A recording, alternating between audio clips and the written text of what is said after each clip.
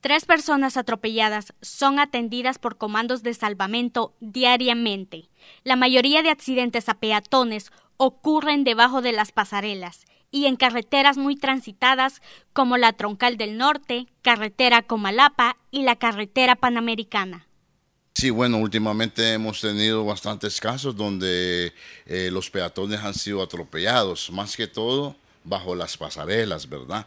Este, si les recomendamos siempre a los peatones, ¿verdad?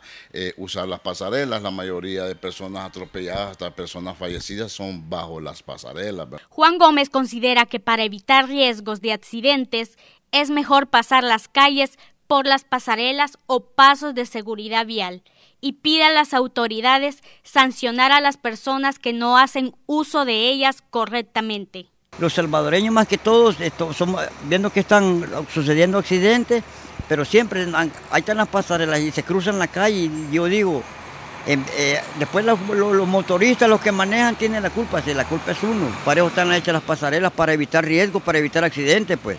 ¿Me entiende? Primeramente, este, fijarse que no venga ningún vehículo y buscar la, la cebra que le llaman. Según el Observatorio de Seguridad Vial, los peatones representan el 40% del total de muertes en siniestros viales. Desde el 1 de enero hasta el 18 de agosto ya se contabilizan 326 peatones fallecidos. Este es un informe de Jacqueline Orellana.